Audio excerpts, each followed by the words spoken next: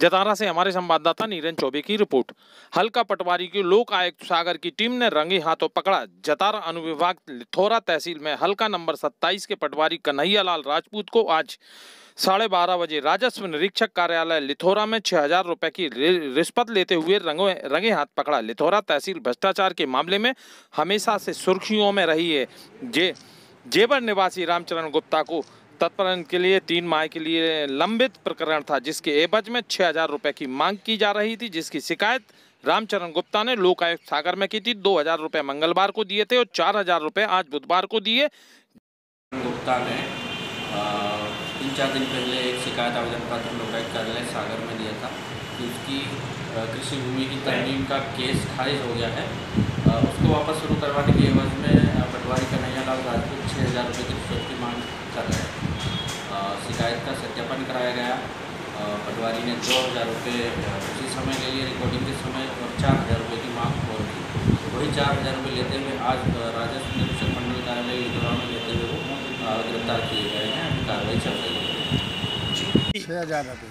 अच्छा छः हज़ार रुपये तो आपने कब कब कितने कितने दिए? दो हज़ार रुपया मैंने परसों दिए। जी।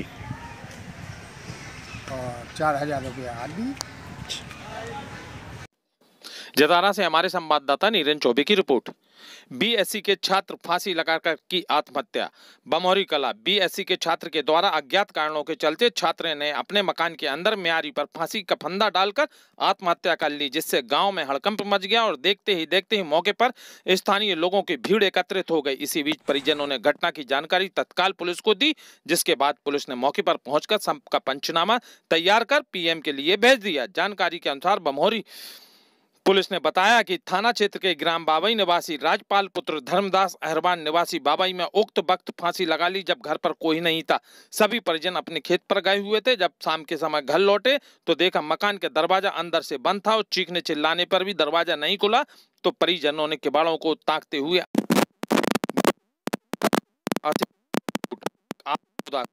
पूरा देखिए करेली बैंक ऑफ़ बड़ौदा शाखा करेली में लाखों के फर्जी लोन के मामले अब एक नया खुलासा हुआ। हम आपको बता दें, धर्मेंद्र उपाध्याय निवासी सास बहू ने पुलिस अधीक्षक महोदय को लिखित शिकायत देकर कहा था कि करेली के गौतम लूनाबाद, हर्षित लूनाबाद व अंशुल लूनावत ने बैंक मैनेजर की मिली भगत से हमारे नाम से लाखों के फर्जी तरीके से लोन पास करा लिए इस विषय में जब बैंक अधिकारियों से बातचीत की गई तो गुपचुप तरीके से जाँच की जा रही थी। वही पुलिस अधिकारी इस मामले में बैंक अधिकारियों की जाँच के बाद कहने की बात कर रहे हैं और वहीं धर्मेंद्र उपाध्याय व संदीप उपाध्याय लूनावत परिवार पर गंभीर क्या मामला है आपका? सर हमारे साथ बैंक ऑफ़ बड़ौदा में करेली में घोटाला हुआ है चवालीस लाख रुपए का। कैसे घोटाला हुआ है? इनने मेरे नाम से फर्जी खाता खुलवा के लोन करवा लिया और मैंने एफडी में जो पैसा जमा किया था वो पैसा भी इनने निकाल लिया। ना मेरे उसमें साइन है ना कुछ। किसने निकाला? गौतम। बैंक ऑफ़ बड़ौदा करेली में हमारे नाम से लोन करके और हर्षित लूनावत और गौतम लूनावत अंशुल लूनावत और अन्वेश मिश्रा मैनेजर इन लोगों ने हमारे नाम से लोन लेके और पैसा निकाल लिया। है उसके उपरांत में हमसे एफडी मांगी गई थी चौदह लाख तिरसठ हज़ार की।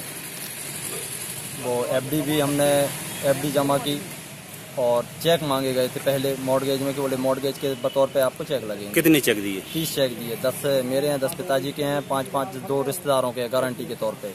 ये चेक अभी मांगे हैं और इन लोगों ने मेरे नाम से पहले ही लोन ऑलरेडी करा रखा है। ना कोई मेरा सिग्नेचर है उसमें ना कोई साइन है। ऑलरेडी फर्जी खाते खोले गए उपाध्याय के द्वारा आवेदन पत्र प्रस्तुत किया गया है कि बैंक ऑफ़ बड़ौदा में उसने टर्म लोन के संबंध में कोई खाता नहीं खोला था। किसी के द्वारा उसका फर्जी खाता खोला गया है। बैंक के अधिकारियों की संलिप्तता, उसमें शिकायत, संबंधी शिकायत की गई है। इसके संबंध में एसडीओपी नरसिंहपुर से जाँच करा के विधिवत जो भी अपराध बनेगा, कार्रवाई की